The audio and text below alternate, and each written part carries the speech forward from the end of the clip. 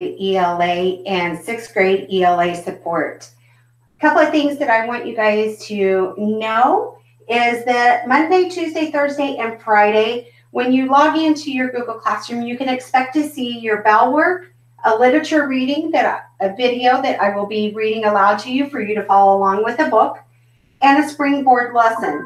On Wednesdays, we will have tutoring hours from 8 to 11 for anyone that needs help with any assignment. Please make sure you log in to our Google Meet and I will be happy to help you one-on-one. Um, supplies for the for this time, all you really need is a paper and pencil. Attendance is super important, guys. You will need to make sure that you log in to your Google Classroom daily during your class time um, make sure that you're completing your assignments and getting those submitted as well.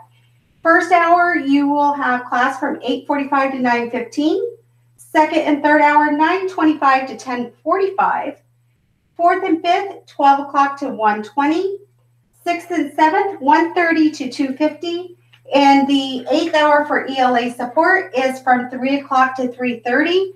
I look forward to seeing everyone, and it's going to be a great year. We will get through this, and I'll see you soon.